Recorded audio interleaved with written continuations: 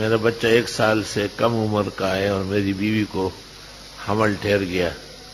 Doctor कहते हैं कि अब उस बच्चे को दूध न पिलाए। हमल के बाद दूध खराब हो जाता है। कुरान में दो साल का जो हुक्म है। तो क्या अगर वो दो साल मुमकिन हो तब ना? अब ये तो आपने इम्कान से आगे हरकत की है तो। ठीक है, कोई और दूध पिलाए, बकरी गाय का।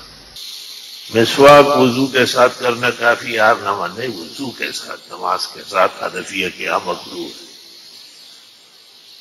मैं गुनाह में मुबतला हूँ, गुनाह करने के बाद अल्लाह से तोबा करता हूँ आइंदा न करने का पक्का इरादे शैतान मलून फिर मुझे उस गुनाह पे डालता है। तो वह इस्तफार जारी रखो, खैर हो जाएगी। इमाम रुकू में था, मुख्तदी ने नमाज़ शुरू की और रुकू में गया। मगर उस वक्त इमाम ने अपने रुकू सर उठाया। इमाम और मुख्तदी की कमर एक चमक के लिए झुके हुए मिलना चाहिए तो रुको मिल जाए।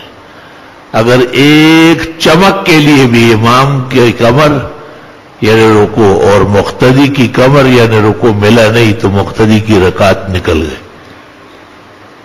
काम नहीं है, दुआ कर अल्लाह, अच्छे काम नसीब करे। रजक के इसबाब और खजाने मुतवजह फरमाए। तीन महीने से बेरोजगार हूँ मेरे बहुत अच्छी नौकरी थी अचानक खत्म हुई है आपसे दुआ, मैं दुआ करता हूँ। कसरत इस्तफार से और घर की बच्चियों का रात को मगरब के बाद से रात तक सूर्य वाक़ पढ़ने से जल्दी माली परेशानी दूर हो जाएगी।